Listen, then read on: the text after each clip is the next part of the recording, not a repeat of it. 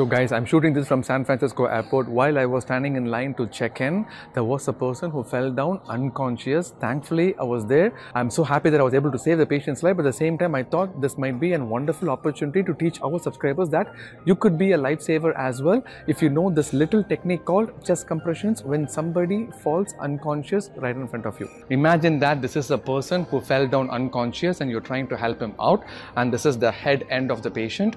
When there is no pulse, right away you need to start chest compressions. How do you do it? You take the lower half of the palm of your one hand, place it in the center of the chest in between the nipples, place the other hand on the top of this hand and start pushing hard.